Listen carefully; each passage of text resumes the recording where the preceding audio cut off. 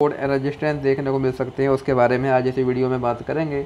हम हम अगर यहाँ पर स्टॉक की बात करें तो हम देखेंगे जो ये स्टॉक है, ये हमको पिछले एक लंबे समय से यहाँ पर लगातार के लिए डाउन ट्रेंड में देखने को मिल रहा है। हमको स्टॉक में लोअर लो लोअर हाई वाला पैटर्न यहाँ पर देखने को मिल रहा है। यहाँ पर स्टॉक ने बीच बीच में यहाँ पर रिकवर करने की भी कोशिश की, लेकिन यहाँ पर स्टॉक कभी भी अपने प्रीवियस हाई को ब्रेक नहीं कर पाया और हमको स्टॉक में लगातार गिरावट ही देखने को मिली है।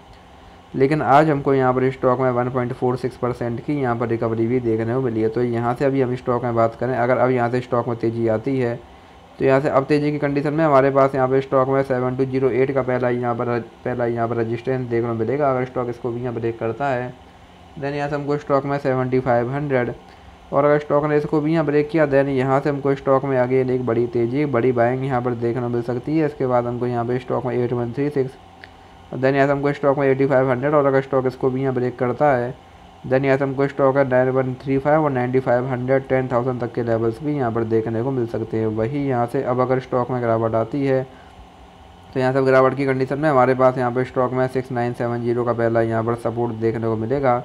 अगर स्टॉक इसको भी यहाँ ब्रेक करता है देन यहाँ से हमको स्टॉक में सिक्स फाइव नाइन नाइन और सिक्स टू एट थ्री तक के लेवल्स भी यहाँ पर देखने को मिल सकते हैं।